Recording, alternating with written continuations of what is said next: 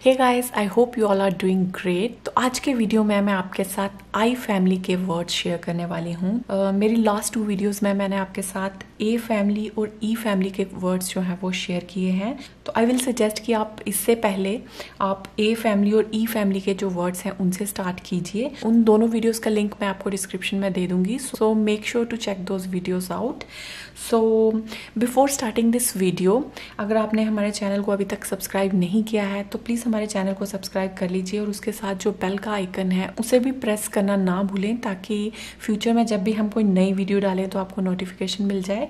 So now let's begin with the video तो अगर आपने ए और ई e लेटर के जो वर्ड्स हैं, उनकी प्रैक्टिस अभी अपने बच्चे के साथ की होगी तो आपको बेसिक जो है वो समझ आ गया होगा कि आपको इन वर्कशीट्स को कैसे अपने बच्चे को समझाना है। तो मैं ज़्यादा डिटेल्स में नहीं जाऊँगी। आई विल सजेस्ट कि आप, जो पिछली दो वीडियोस हैं इस सीरीज़ की, उन्हें देखिए ताकि आपको बेसिक जो डिटेल्स हैं वो पता चल जाए। तो मैं जल्दी से आपको आई फैमिली के जो वर्ड्स हैं वो बता देती हूँ। तो आई जो है, इसकी फोनिक साउंड क्या होती है? ई e. तो आई की फोनिक साउंड होती है ई e. तो सबसे पहले हम आई लेटर की टू लेटर ब्लेंडिंग सीखेंगे, फिर उसके बाद कुछ हम सीवीसी वर्ड्स की प्रैक्टिस करेंगे।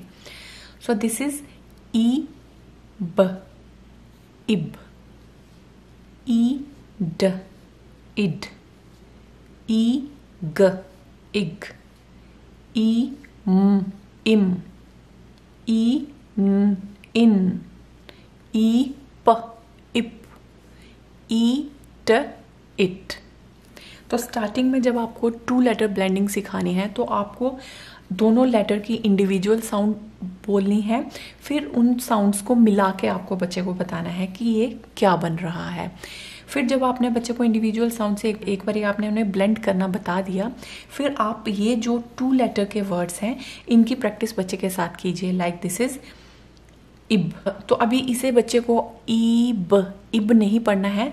अभी इसे बच्चे को देख के पढ़ना आना चाहिए कि this is ib, id, ig, im, in, ip, it.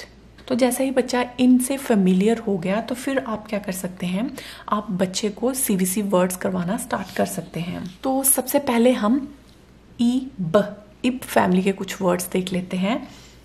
ब, इब, बिब, फ, इब, फिब, ज, इब, जिब, र, इब, रिब, न, इब, निब। तो इसमें अगेन मैं आपको कहूँगी कि जब आप सीवीसी वर्ड्स करवा रहे हैं तो आपको तीनों लेटर्स की इंडिविजुअल साउंड्स नहीं बोलनी है। आपको फ़र्स्ट लेटर की इंडिविजुअल साउंड बोलनी है और ये जो दो लेटर हैं, इनकी कंबाइंड साउंड बोलनी है। लाइक ब ib bib.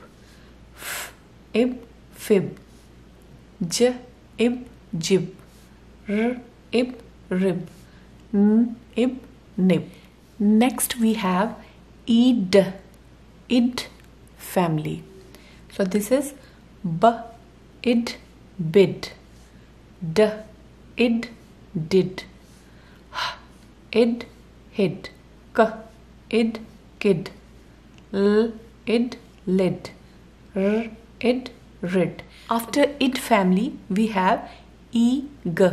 Ig family. B ig. Big. D ig. Dig. F ig. Fig. G ig. Gig. J ig. Jig. P ig. Pig.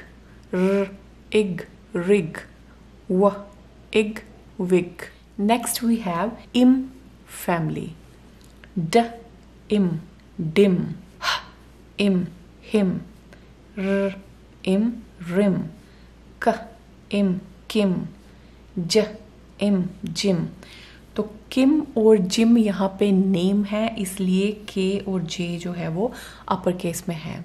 Next we have ब in bin in fin, k in kin, p in pin, s in sin, t in tin, w in win.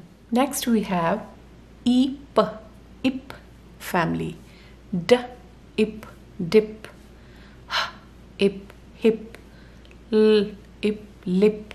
N ip nip. P ip pip.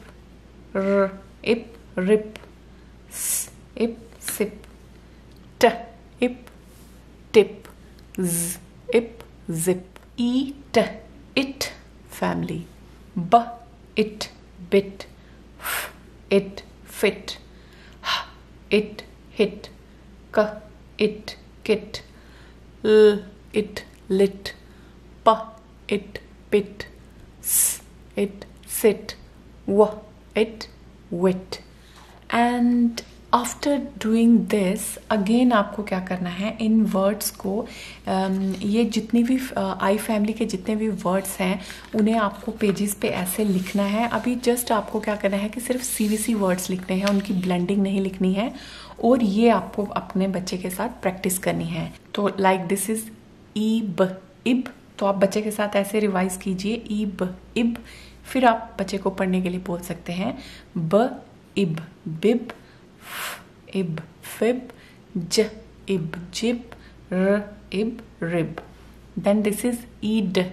Id family ब, id, bid, did, hid तो same way में आपको सभी के सभी in families के लिए सी V C words लिखने हैं और डेली जो है वो बच्चे के साथ प्रैक्टिस करने हैं।